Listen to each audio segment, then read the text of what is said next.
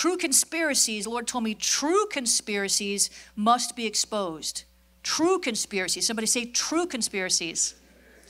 True conspiracies. There's a lot of false conspiracies out there. On April 24th, 2020, I prophesied a strong word about China hiding information that if it was not revealed within 30 days, it would ripple through the next 30 years. And I did not know what it meant at the time. And man, I mean, I tell you, I had every Google alert on the word China. I was every Google alert on because I was looking, searching the news every day, trying to. I was praying without ceasing. I had intercessors praying, and I firmly believe now that it has to do with not just the coronavirus, with other viruses, bioweapons that are going to emerge. Listen, we need to shut this stuff down. We need to shut it down. We have authority. If God didn't send it, and He did not, I said, God did not send the plague. Amen. We're not, we're not Egyptians and we are covenant people. If God did not send it, we have authority over it. The Bible says we are to bind or forbid on earth what is already forbidden in heaven. Is there a plague in heaven?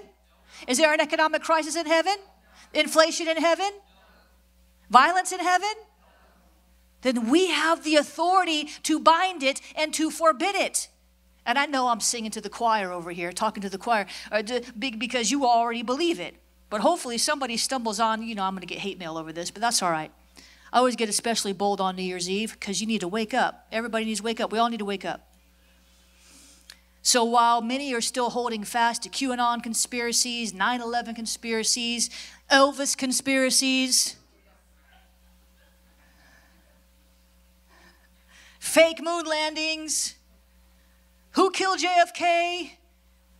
The Queen killed Princess Di?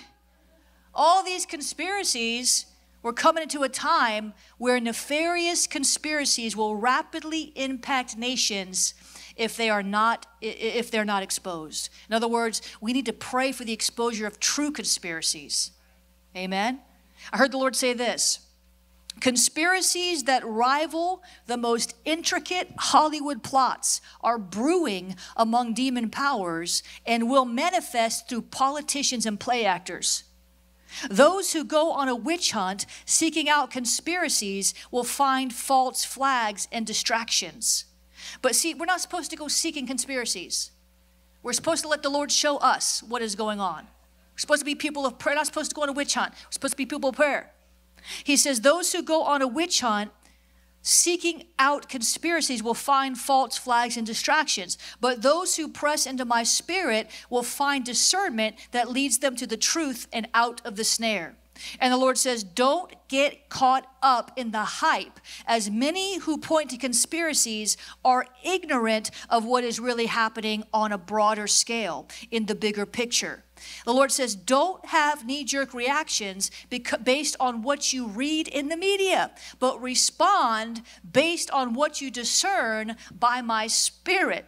And the Lord says, not everything labeled conspiracy is conspiracy, but many conspiracies go undetected while the enemy distracts people with the obvious.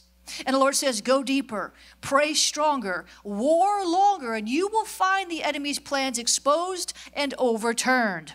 Even still, some things must be, but even those conspiracies that play out unhindered can be discerned, and you can prepare people to respond to my plans and purposes and strategies for provision and safety.